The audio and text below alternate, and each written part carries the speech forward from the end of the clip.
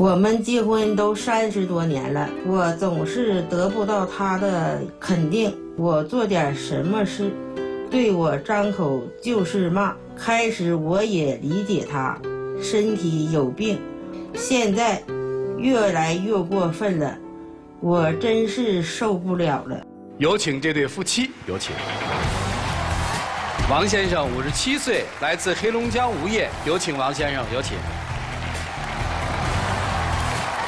孙女士五十六岁，来自黑龙江无业，有请孙女士，有请。欢迎两位哈，咱这结婚多少年啊？三十八年，结婚三十八年了，呵，老夫老妻了。您今天是来控诉他的是吧？是的，这要控诉他什么呀？一个跟了你三十八年的女人，还有啥好控诉的呀？这不是上次打仗，他不伺候我跑了吗？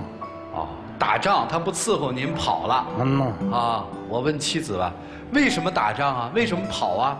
他说我跑了，他纯粹都是瞎话。哦，瞎话我。就是回来上我儿子这嘎达来待几天，散散心。我没有跑，我走了，问他因为啥我走的？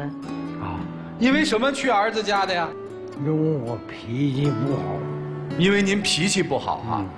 就从他有病就心烦，您得的是什么病啊？脑脑梗，脑梗啊，嗯，梗三回了，都梗三回了。嗯，这运气算够好的了吧？梗了三回还还能动，啊，肢体上还没问题是吧？手不好使，哦，手不好使，说话费劲，哦，说话费劲。您需不需要坐个凳子啊？不用，您如果需要的话，随时跟我们说哈，我们给您提供凳子。就一病人嘛？您跟他较什么劲呢？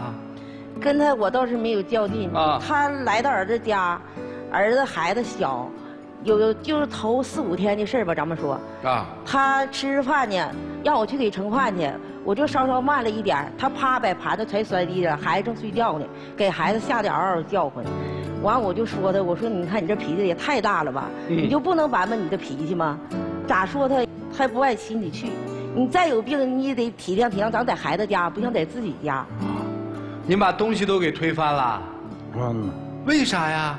生气。